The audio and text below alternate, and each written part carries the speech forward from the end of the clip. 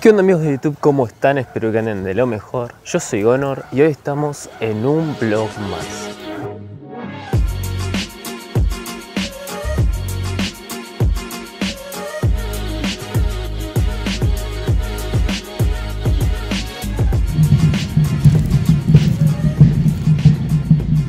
Y preguntarán cómo es que me fui a operar a los 22 años. Resulta que yo estuve viviendo con varios dolores estomacales, especialmente en la boca del estómago, que me hacían retorcijarme en la cama, boludo, porque no me podía mover y yo aún así tenía que ir a trabajar.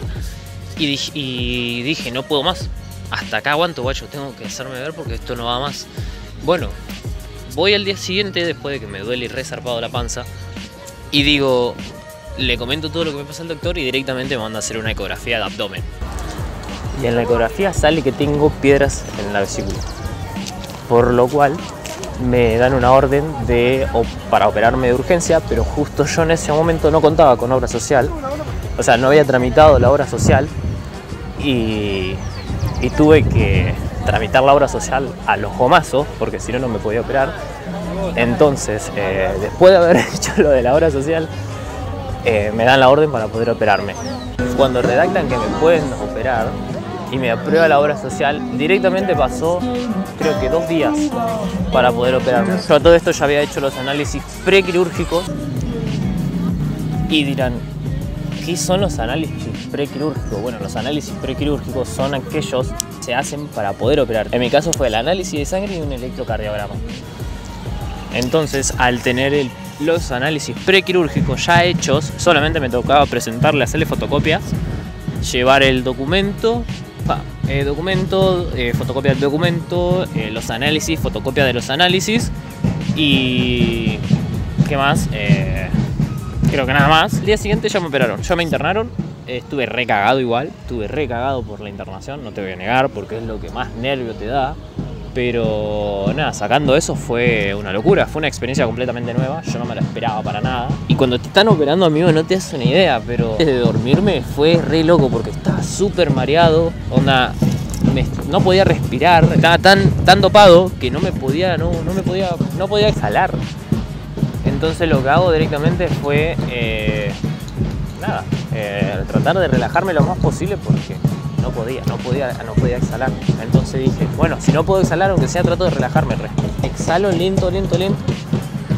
Y, tratemos de relajarnos, porque si no, si vos te enterás en ese estado, cagaste, porque no puedes hacer nada y te vas a asustar peor, entonces bueno, te tenés que tratar de relajar.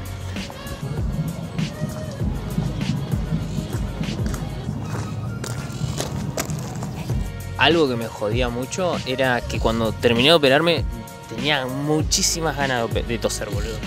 Demasiadas ganas de toser. Y.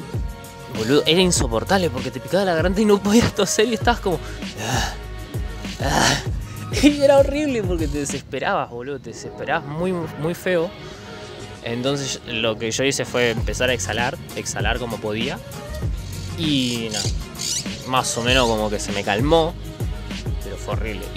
Y nada, la verdad que fue una locura. Fue una locura, la verdad, la experiencia de operarse es muy loco, muy loco.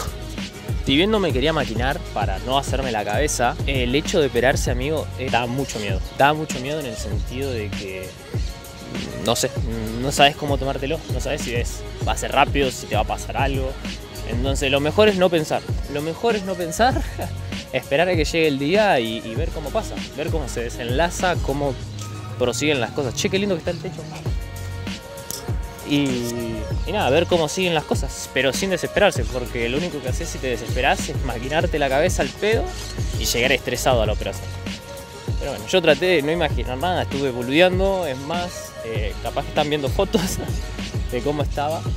Eh, Imagínate, estaba viendo Malcolm del medio mientras estaba, mientras estaba internado para poder antes de operarme, o sea, estaba viendo Malcolm del medio, estaba viendo anime, estaba viendo boludeces para olvidarme de que me iban a operar.